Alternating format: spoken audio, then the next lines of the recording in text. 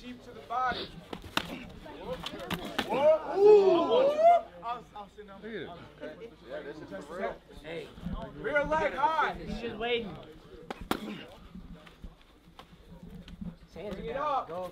Go. Setting it up. Oh, oh, oh, go, baby. No Oh, worries. take time.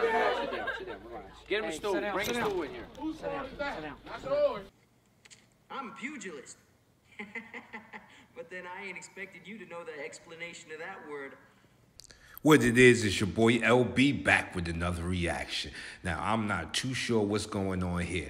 Buddy with the long dreadlocks, I don't know if he signed up for this fight. Someone told him that it was going to be thumb wrestling, and he walked into a street beat fight. Now, he done took two big shots to the bread basket, one right hook to the chin. Now, he starts looking around like, I didn't even know we could do that. I didn't even know you can punch people in the belly. If I knew there was going to be belly punching, I would have kept my shirt on. Now, he looking at that belly. He looking at, he done turned him to Yogi Bear. He out there looking like Yogi Bear. Hey, Yogi, what you got in that there picnic basket? Yeah, he all up in this man's bread basket. He looking for four croissants, two buttermilk biscuits, and a, sli- uh, uh, a slice of white bread. Yeah, that's what he looking for. He trying to take bread up out that man bread basket right there. And this man standing there confused. He don't even look like he came to fight. He got his dreads done up nice, but he did not come to fight. He takes another shot to that bread basket. He's still standing there dazed and confused. And your man right here, he lumberjacking. See, this is what Burley talk about.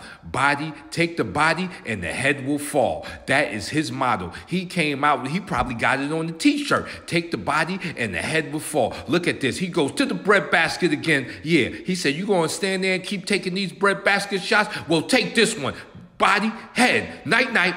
Night, night. Everybody go sleep, sleep. Look, he punched him in the dreads. He said, and I'm mad at them dreads too.